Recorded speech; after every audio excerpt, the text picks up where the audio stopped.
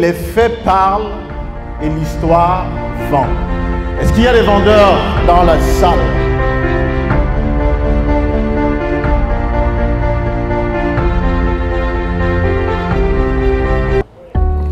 Est-ce qu'on peut juste lever les mains si on est vendeur? Est-ce qu'on peut lever la main si on est vendeur? Ok, je compte à peine 10 mains levées. Ok, une trentaine maintenant, ça évolue. On est environ 30 vendeurs. Laissez-moi vous dire une chose, c'est qu'on est tous des vendeurs. On est tous vendeurs d'une chose. On est vendeurs d'idées. On est vendeurs de projets. On est vendeurs de quelque chose. Et à partir de ce moment, il est important de savoir donc que quand on est vendeur, les faits parlent et à la fin de la journée, c'est l'histoire qui vend. C'est l'histoire de deux prétendants et un siège. Il y a une position qui s'était libérée dans une entreprise et il y a deux personnes qui ont postulé à cette position-là. Les deux ont été retenus pour venir défendre leur volonté d'être promus à cette position. Le premier est entré dans la salle devant les recruteurs et il a fait une démonstration de ses compétences. Il a parlé de son expérience, il a parlé de son vécu, il a parlé de son parcours, il a parlé de son séjour dans l'entreprise. Que de bonnes choses démonstratives.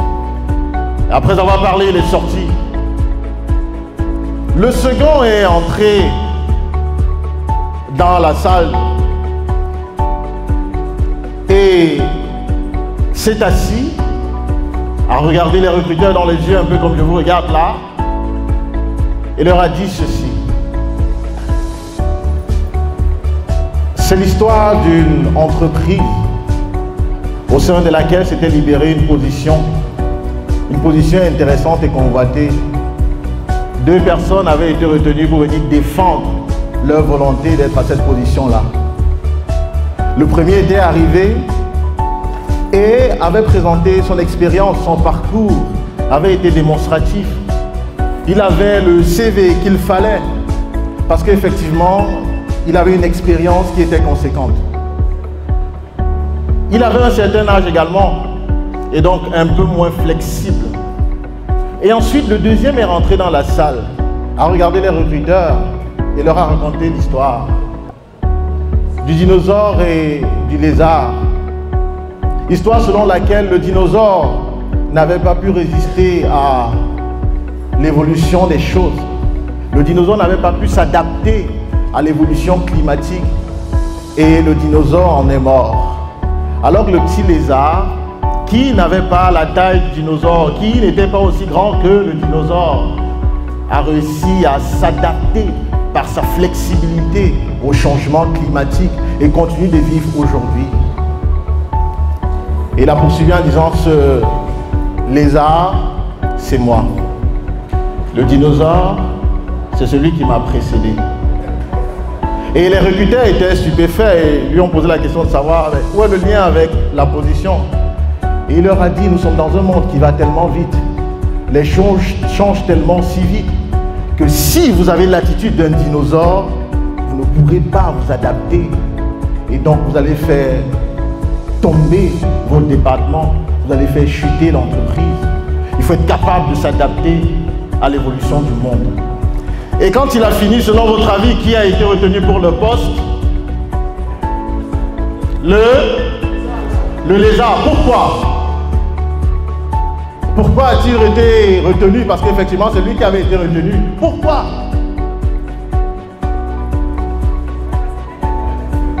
Parce qu'il avait une capacité d'adaptation, mais surtout parce qu'il avait raconté une histoire.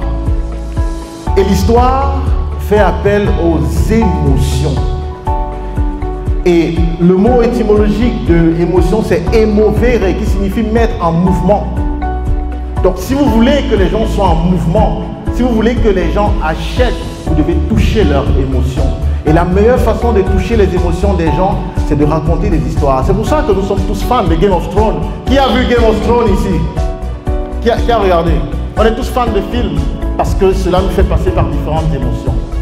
La question maintenant est de savoir comment raconter une bonne histoire. Sur quoi est-ce qu'on s'appuie lorsqu'on veut présenter en faisant du storytelling, comme le neuromarketing l'appelle, l'art de raconter des histoires pour persuader et pour vendre. On s'appuie sur trois piliers simples. Le premier pilier, c'est le verbal. Le verbal, c'est tout ce qui renvoie aux mots, aux expressions, à, la rhétorique, aux anaphores et tout ça, tout ce qui va avec les mots et expressions. C'est ça le verbal, c'est simple. Et selon Albert Mirabian, psychologue américain, le verbal compte pour seulement 7% dans l'impact de votre communication. 7% seulement. Mais sans verbal, il n'y a pas de communication parfaite ou complète. C'est vrai qu'on peut communiquer sans mots, c'est vrai. Mais pour avoir une communication de 360 degrés, il faut aussi le verbal qui ne compte que 7%. Le deuxième pilier, c'est le vocal. Le vocal, c'est tout ce qui renvoie à, à l'habillage des mots. C'est le volume de la voix, c'est la diction, c'est le débit, le rythme auquel les mots sont relâchés, etc. C'est le deuxième pilier. Et le troisième pilier, et le plus important, c'est le visuel. C'est ce qu'on voit. C'est l'expression de votre visage, c'est le contact visuel que vous avez avec les personnes que vous parlez, c'est votre posture, c'est votre gestuelle, c'est la manière de vous mouvoir lorsque un podium ou une estrade comme celle-ci vous est donnée, c'est ça le visuel. Et le visuel est le plus important parce qu'il pèse pour 55%, lorsque le vocal pèse pour 38%, et qu'enfin le verbal lui pèse pour 7%. Le jeune homme qui avait gagné ce poste, cette position, en racontant l'histoire du lézard, s'était appuyé sur ces trois piliers. Ce sont les trois piliers de l'art oratoire, ce sont les trois piliers d'une présentation orale. Quand on sait ça, rentrons regarder ce qui s'était passé réellement dans ce bureau quand ce jeune homme est entré et qui s'est installé. Alors on a dit que ce sont les trois piliers de l'art oratoire qui avaient été combinés pour amener les, les recruteurs à sélectionner finalement ce jeune homme qui avait raconté si brillamment son histoire. Alors quand vous regardez là, vous verrez bien qu'on combine le verbal, on combine le vocal et on combine le visuel. Quand on a combiné ça, qu'est-ce qui se passe? On a dit que l'objectif était de générer des, des, des émotions. Parce qu'à la fin de la journée, c'est l'émotion qui fait passer à l'action. Mais comment est-ce que l'émotion arrive? Il y a tout un processus. Alors ce qu'il faut savoir, c'est que il faut d'abord réussir à faire secréter des hormones par la personne qui vous écoute.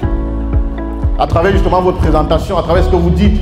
Dans le cas d'espèce, le jeune homme qui avait parlé du lézard avait suscité la peur chez les recruteurs.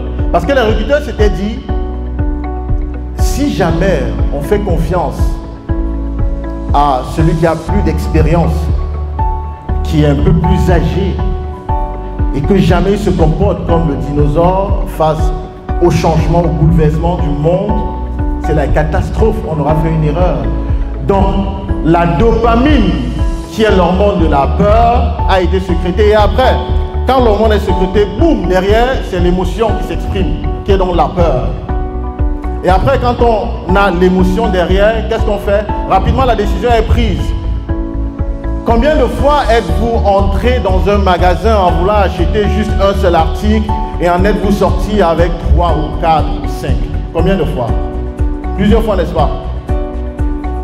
Plusieurs fois, vous êtes entré, vous vouliez acheter un seul article, vous en avez acheté plutôt trois. Alors que ce n'était pas prévu. Pourquoi? Parce que vous avez été touché par l'emballage, vous avez été touché par la présentation, vous êtes allé trouver une justification à votre choix en vous disant non, je devrais prendre ça parce que ça devrait résoudre tel problème.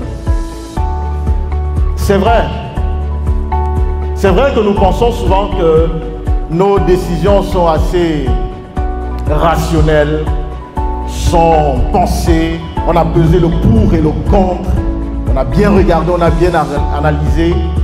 Ça, c'était vrai, on le pensait, c'était vrai jusqu'en 1995, lorsque Antonio Damasio a publié son livre qui s'appelle L'erreur des Descartes. Le livre dans lequel il montre très bien que Descartes qui pensait que cogito ergo sum et que l'homme était essentiellement rationnel avait eu tort.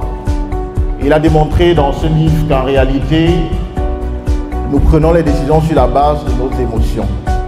Et quand la décision est prise, souvenons-vous de la définition de l'émotion émovere, mettre en mouvement. Quand on regarde notre schéma là, quand la décision est prise, après derrière c'est l'action, qui est l'action d'achat, l'acceptation.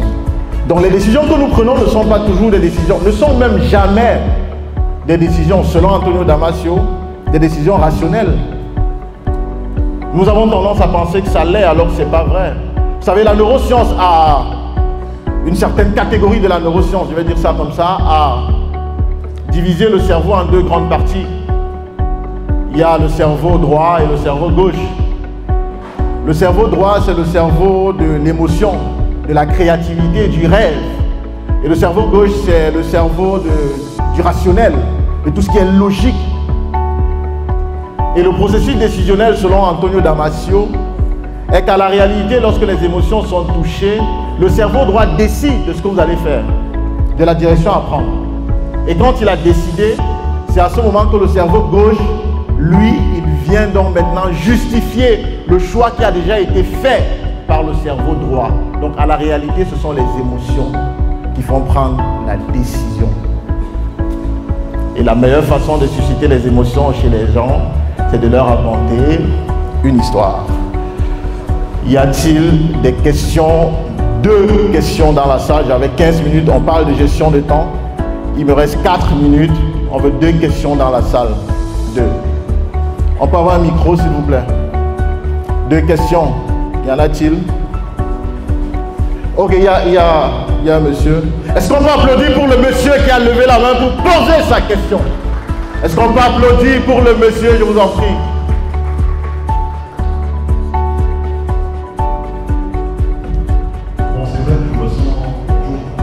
Bonjour. Quelle que soit la personne qui a écrit un livre pour s'attaquer au cogito ergo sum. Absolument. Parce qu'en fait, la question que je voudrais vous poser, c'est euh, oui, euh, ce sont des émotions qui, euh, Qui amène à prendre des décisions, mais qu'est-ce qui est à la base des, des émotions Très bien. Vous voyez, parce que j'ai malheureusement si on devait prendre l'histoire banale de celui qui tombe amoureux, en réalité, pendant longtemps, on se conditionne dans son système de pensée à voir un certain nombre de choses en une personne et quand on finit par les voir, il y a des émotions qui se déclenchent. Euh, je sais pas. Donc, qu'est-ce qui euh, crée les émotions? Très bonne question. Trois choses. Trois choses. On a dit c'est le verbal, c'est ce qu'on écoute qui crée les émotions. On a dit c'est le vocal, c'est la manière dont ce qu'on écoute est relâché, quel est le débit, quel est le volume, quel est, quel est, c'est le vocal. Et enfin c'est ce qu'on voit. Quand vous tombez amoureux d'une dame, vous ne tombez pas amoureux d'elle comme ça. C'est parce que vous l'avez regardée, vous avez vu qu'elle avait quelque chose de spécial. C'est parce que vous l'avez écoutée, vous avez senti qu'elle parlait d'une certaine manière, vous avez senti dans sa voix quelque chose de spécial. Et c'est tout ceci mis ensemble qui fait qu'à la fin de la journée, vous tombez amoureux de la personne. Donc l'émotion vient donc de ces trois piliers de la communication orale qui sont le verbal, le vocal et le visuel. Exactement comme dans les films. Dans les films, c'est ce que vous voyez, c'est ce que vous écoutez, c'est la manière dont ce que vous écoutez est relâché qui fait que vous êtes emporté par certaines émotions. J'espère avoir répondu à la question, sinon on en parlera tout à l'heure. Merci beaucoup. Une autre question? Bonsoir. Bonsoir. Serions-nous en train d'affirmer ce soir que les décisions que nous prenons en entreprise ne sont pas objectives parce que assises sur nos Très bonne question. Est-ce qu'on peut applaudir pour le monsieur C'est une excellente question et c'est ça que j'attendais. Parce que à 80% vous êtes des, salariés, effectivement, vous êtes en entreprise. C'est une très bonne question. Je pourrais malheureusement ne pas répondre à la question telle que vous l'avez posée.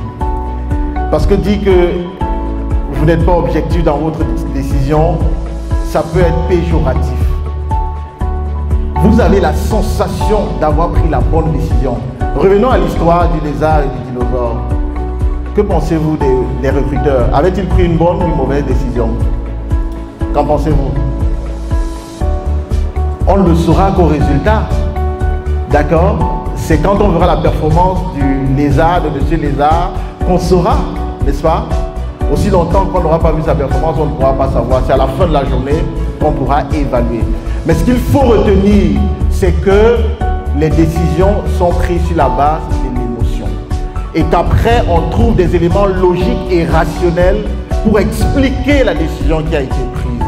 Mais à la base, c'est l'émotion. Et si vous voulez vendre une idée ou un projet, souvenez-vous que les faits vont parler et c'est l'histoire qui va vendre. Je vous remercie.